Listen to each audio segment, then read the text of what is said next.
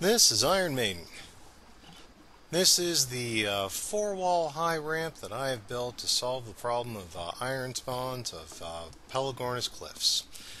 Usually based out of uh, Viking Bay. It's a short sail for the at least one Anky, but often I like to bring a pair of uh, Anky and Beaver to supply the wood and the metal needed to develop ourselves on the Ragnarok map.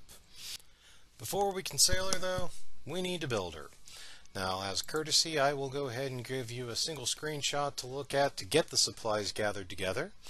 But uh, for uh, ease of reference, we will need 18 stone foundations. You will need two large sloped hatch frames as well as two large reinforced trap doors. I also recommend those items be the S plus variety. Five large stone walls, those are the ones that are four levels high. You will also then want 22 stone ceilings as well as at least one standard door frame or uh, and two double door frames or those can simply be three standard door frames. You will also want 11 stone walls, two stone window frames, one stone hatch frame, two stone gateways, as well as the two I recommend S plus gateways, two reinforced double doors, two sloped left walls, two sloped right walls, and then of course the equipment to install this. Two wooden foundations, a wooden pillar, and then to surround the territory for ease of access, you will want 12 wooden ramps. And then for internal cabin, we're going to want to add a wooden hatch frame, a wooden ceiling, a rope ladder, a campfire, and a mortar and pestle. And then you, of course, will want at least one or perhaps two beds to give yourself a movable respawn point. Go ahead and pause the video, Take a screenshot as you need. Let's move on. Take your foundations, and as you can see, I've already sank the first foundation in. We'll go ahead and start by setting up then a uh, 2 by 2 on the main raft itself. Then we'll go ahead and uh, stretch this out for, pardon me, two additional foundations forward using four in total. So you'll be starting by building essentially a 2 by 4 foundation from the rudder forward. The first six go down simply, of course, and then for the final two, you will need to use uh, thatched ceilings to stretch it out for that last length.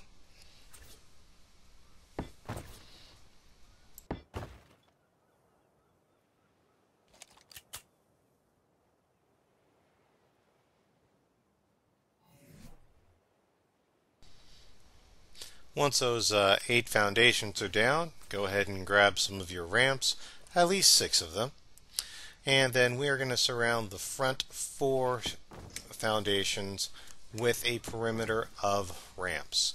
This will allow ease of uh, running our Ankies up and down, getting out of the water, and then continuing its uh, march upwards vertically across the ramp we're about to build. Once you've uh, put your ramps on, go to the rear of the boat. Grab your ceilings and grab your foundations and use the same pattern of using the ceilings to extend your reach and add the additional foundations to the back of the boat.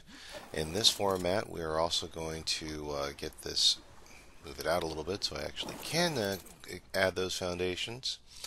We're going to add a, a setup of a 2 by 4, so 8 additional foundations, in which you make a T shape with the center lines meeting.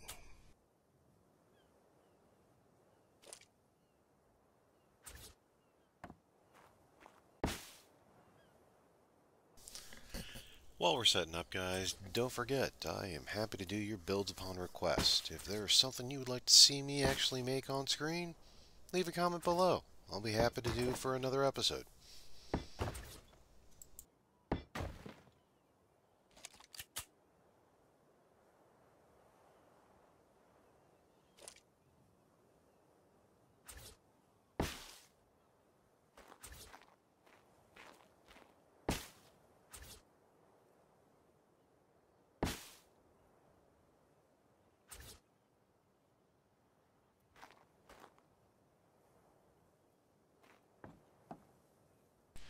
It wouldn't be Ark if everything placed easily, now would it?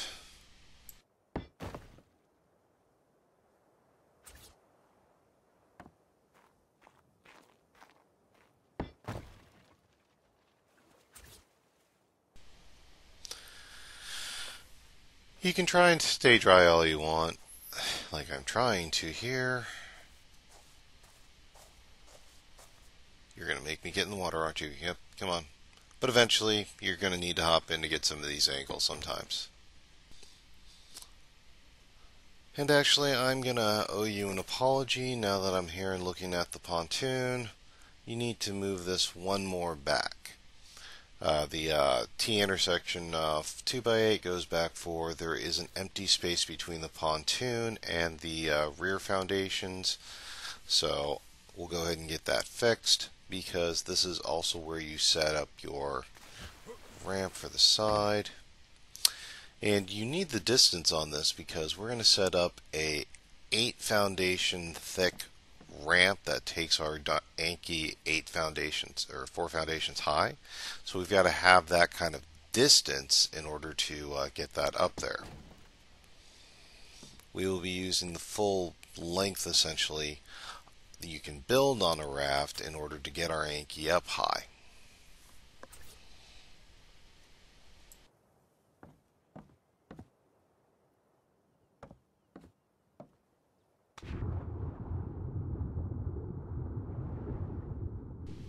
Just trying to add this last passenger ramp. Okay, this is how you know you and I get on the boat mostly. Uh, critters are obviously taking the larger ramps. But once we get this, then we get uh, the ceilings and we add the final row of uh, four foundations. This will be the rear of the raft.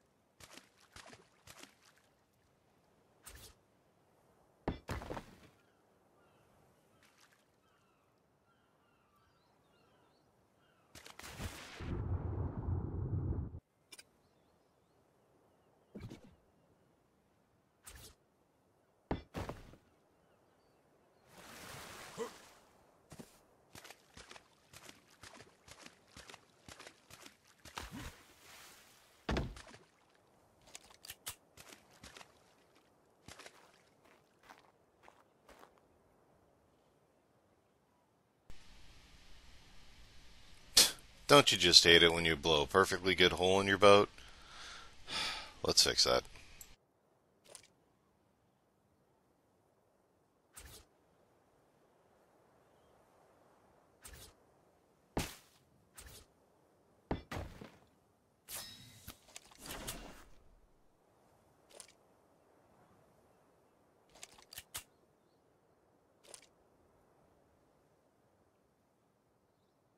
Okay, once you've got that T intersection set up, grab more ramps, and we are going to put two ramps on either of the sides. This will actually be a uh, avenue for you to uh, ramp up your uh, animals to store them within a you know, barn shed area that will be underneath the ramp you're about to build. This is actually really convenient uh, when uh, you're dealing with the airborne critters of the itchies and stuff flying around, or you're just hauling them. Uh, there's enough room for a couple of critters in here. A good pair I usually use is uh, the Anky, of course, but also the uh, Beaver. You're also going to want to grab uh, five of the four high walls. I use the S Plus extended editions to cut down on uh, uh, foundation counts. You'll put four at the rear. Again, these are the large walls, four normal walls high. And the fifth one you'll put off to the side. But you only put one off to the side because we need to modify the wall we put over on the other corner. Grab a door frame. I like the uh, double door frame.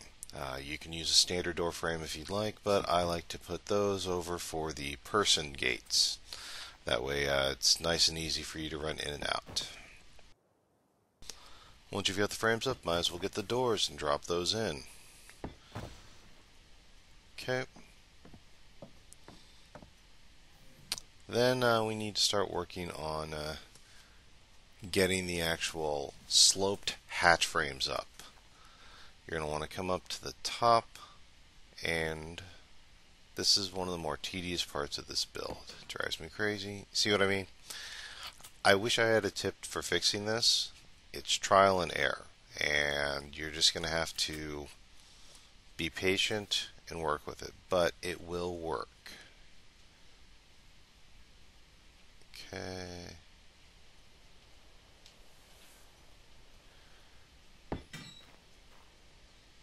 See what I mean? Uh, these are worth it, but I don't have a better tip for uh, how to place those. In fact, if you know how to place these with accuracy, your comment would be greatly appreciated and I would pin it. Getting back to the build. Next we are going to grab your windows. And uh, we will go ahead and then drop those both on top of uh, the doors that you just place. Next up, uh, start getting some ceilings, stone ceilings. Now these are going to require a little bit of a hop to get them up to height. They can be slightly frustrating, but it can be done. And we are going to go ahead and uh, drop ceilings across the edges like so. And then on the other edge hop in place.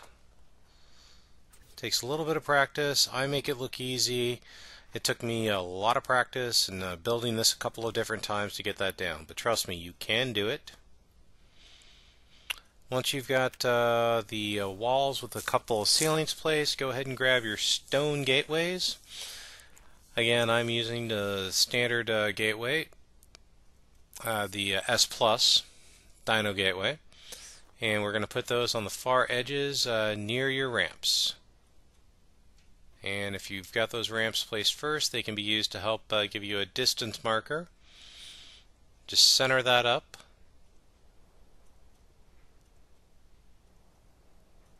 Be a little tricky, I'll fully acknowledge it. There we are. And then we do the same thing on the other end as well.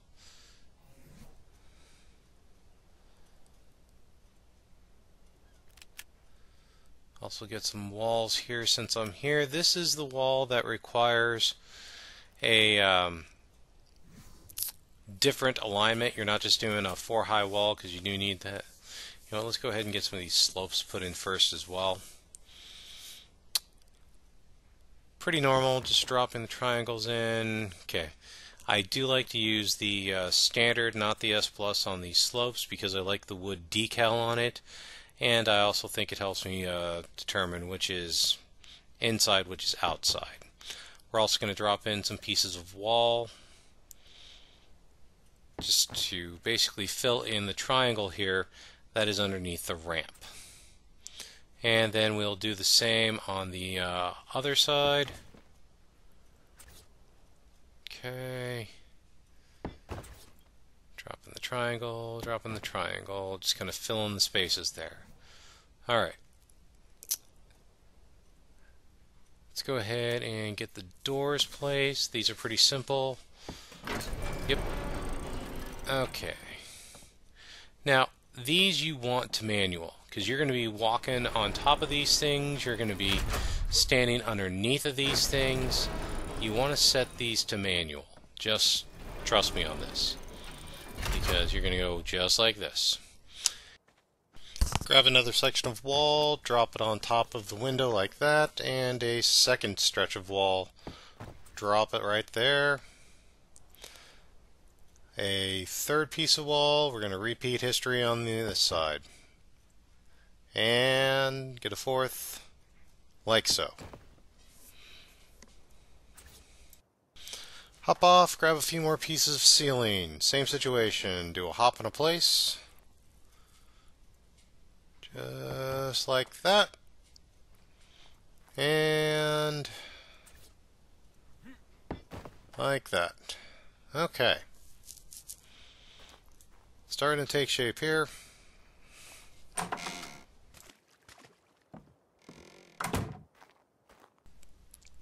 Up the ramp we go again.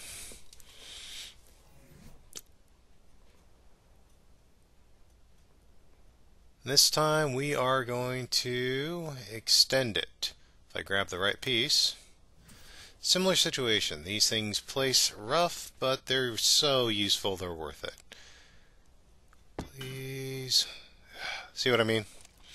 Uh, when you're demo gunning, be careful. Make sure that uh, there's not a piece of structure behind it. Slap it down. There we are. Okay. And we grab the uh, hatch frame as well. Drop that in careful when you come up here. Get close enough to make sure you can set it to manual. You are going to want to set this to manual because you're walking up here. And I think you can start to see how this ramp will take place now. See if that's how your uh, Ankies are going to be able to walk up this high because you're going to be able to float this ramp wherever. Come on down to the bottom, uh, slip inside the ramp now, and let's finish off this corner.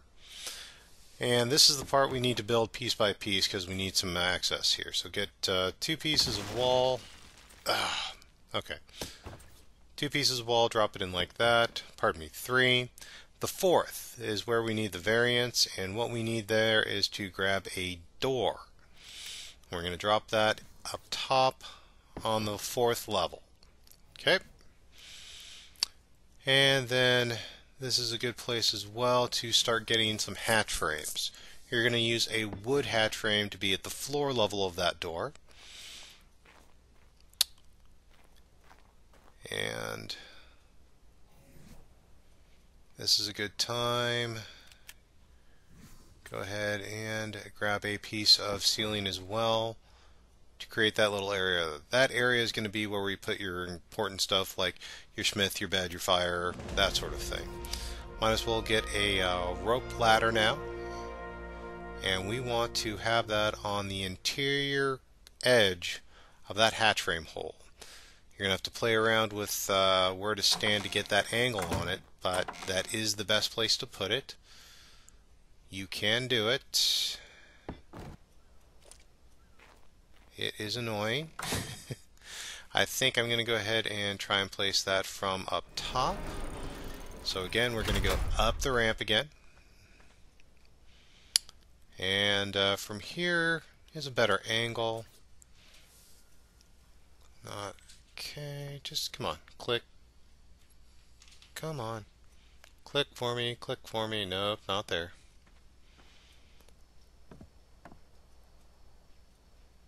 There we are.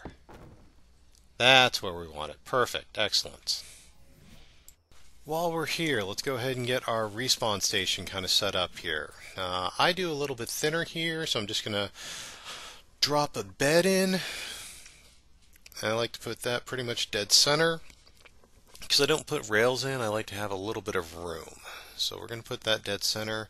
You cannot put it all the way back towards the wall. You get too far away from foundation to be able to actually place it. But you can get it pretty far back. And then we're also going to drop in a mortar and pestle.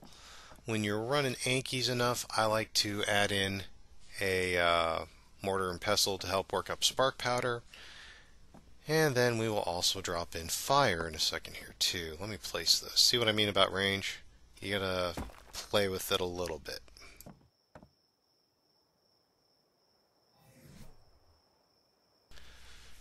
And uh, no boat is complete without a campfire. I can find animals to kill anywhere, but I'd like to be able to cook up my supper while I'm working. And again, we're going to drop that about midway. Okay.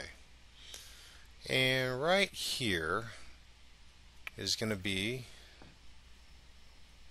uh, let's get my uh, doorway placed first. And again, same situation. Center it up, use your ramps as a little bit of a guideline. Try to get that as even as possible. That's why I like the ramps in first. They'll give you an idea of where your edge is, as well as trying to keep things even. There we are. Okay. And then we're also going to uh, grab the doors. Your Dino Gateway, again S plus. And we'll get the other door in there as well. Drop that in, drop that in. Really starting to take shape here. Okay.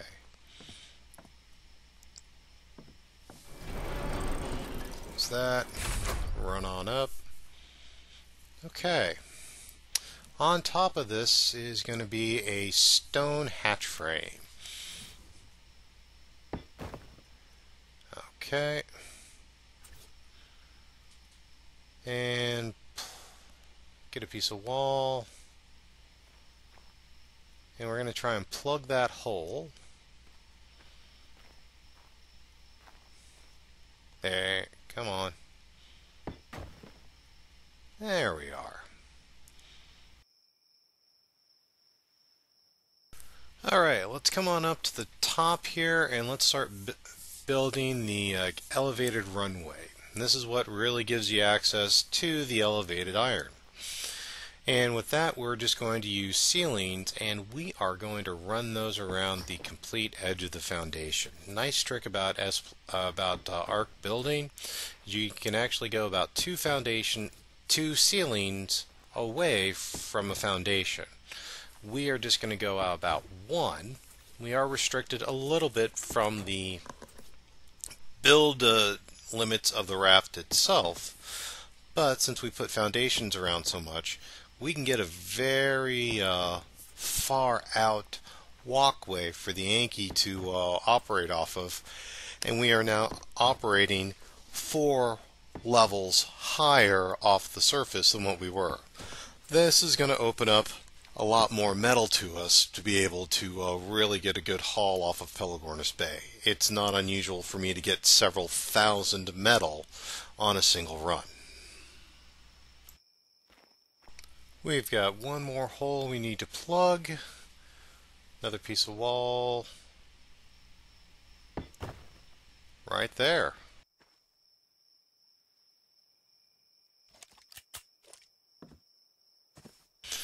Alright, now let's start moving the final piece of equipment into here.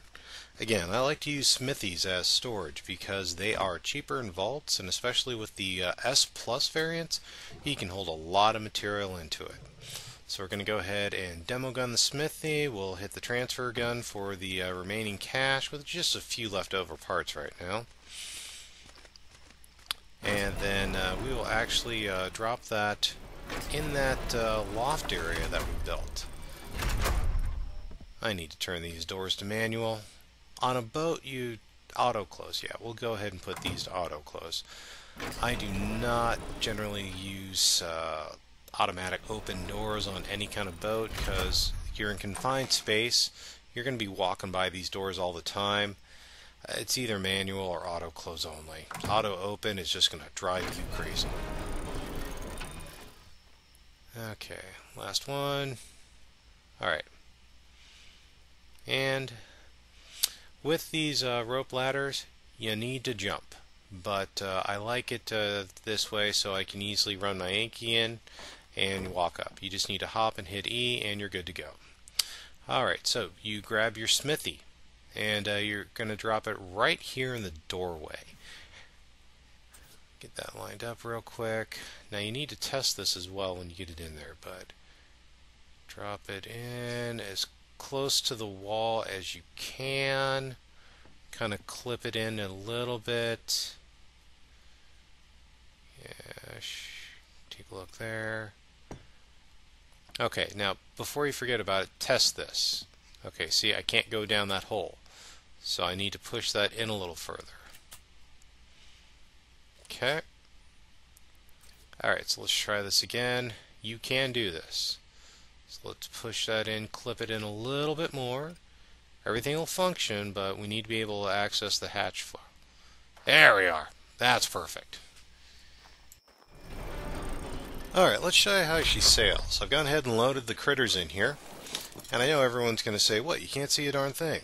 Well, if you just move your mouse down a little bit, you get a pretty good view. Now you can also first person this and open the doors and you get a decent view that way as well. 90% of the time I just sail like this because as you can tell you're pretty much right at the same level where the uh, ceiling uh, walkway it's pretty thin right there. So let's cut to the chase. You sail the boat where you need to. You get on your Anky. You actually walk up the ramp here.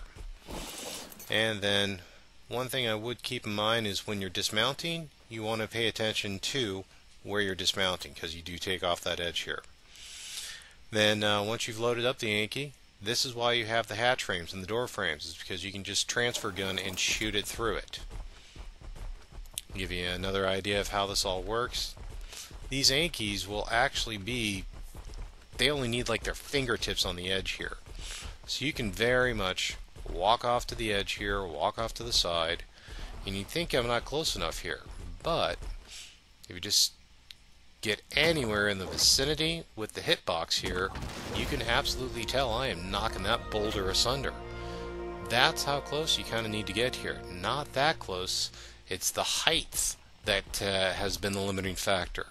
You can get anywhere within a good meter or so of it, you're going to be able to take out these uh, metal spawns. We'll do it again. Sail right on up, straight on in. And again, you'll see where we've uh, got the ramp. Go out the door, close the door, run on up, hop on it,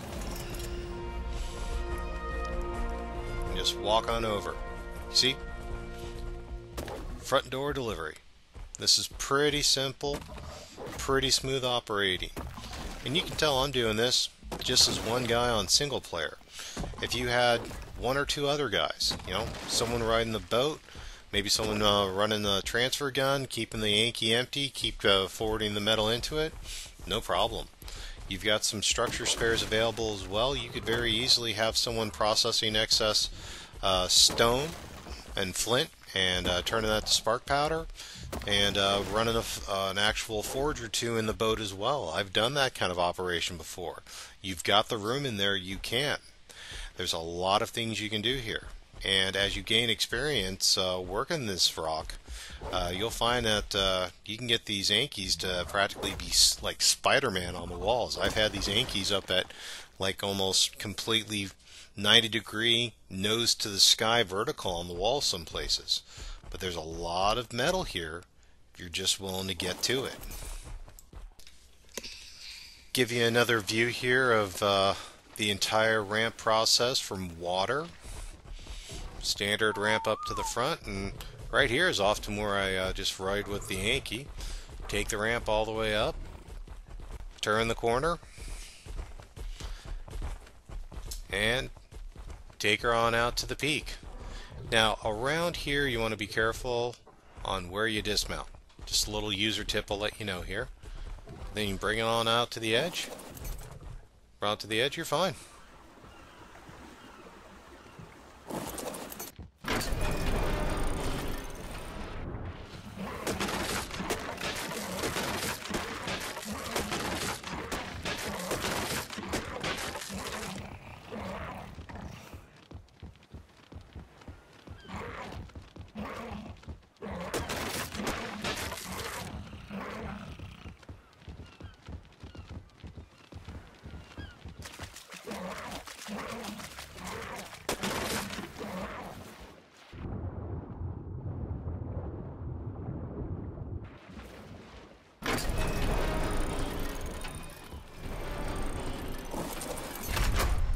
And as the sun sets, there she sails, the great and mighty Iron Maiden. This is the boat that's kept me in metal ever since I've lived on Viking Bay. Any map I've lived on Viking Bay. She's worked well, she's sturdy, she's versatile, single player, multiplayer, you can name it, she can handle it. Feel free to put this on your own map. Let me know how it works. Let me know of upgrades you've done to her. I won't be ashamed to find out I could do something more. Keep in touch with me. Leave a comment.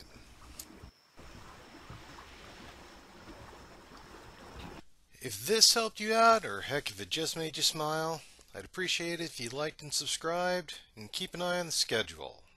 Minecraft Friday, Ark on Sundays, and Bonus Bill Wednesdays. I'm Commander Tom. I'll see you next mine. Thanks a lot.